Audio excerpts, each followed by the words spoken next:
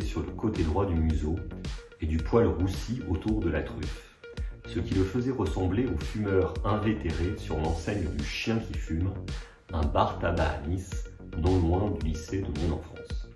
C'est ainsi que commence Chien blanc de Romain Gary, qui est un livre écrit en 1969 et publié en 1970 par euh, celui qui est mon auteur préféré, Romain Gary. Romain Gary, vous le connaissez, prix euh, Goncourt pour euh, Les Racines du Ciel, puis quelques années plus tard sous un autre nom pour La vie devant soi, l'auteur de La promesse de l'eau.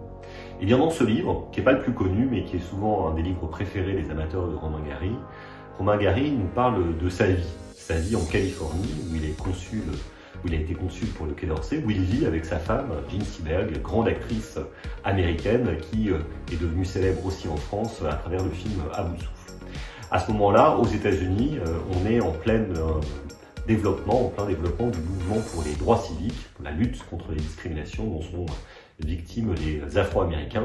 Et dans le monde entier, se développe un air de printemps révolutionnaire qui débouchera sur mai 68 en France. Et c'est cette histoire-là que Romain Gary nous raconte entre les États-Unis et la France, à travers un conte philosophique finalement assez simple. Romain Gary euh, et sa femme adoptent un chien, un chien qui répond au nom de Batka. Et ce chien est un peu particulier puisqu'il a grandi dans les États du sud des États-Unis qui sont connus pour être particulièrement discriminatoires à l'endroit des Noirs. Et ce chien a été dressé pour attaquer les Noirs. Romain Gary s'en rend compte et décide avec un ami noir qui de dresser ce chien pour justement que ce chien ne soit plus raciste.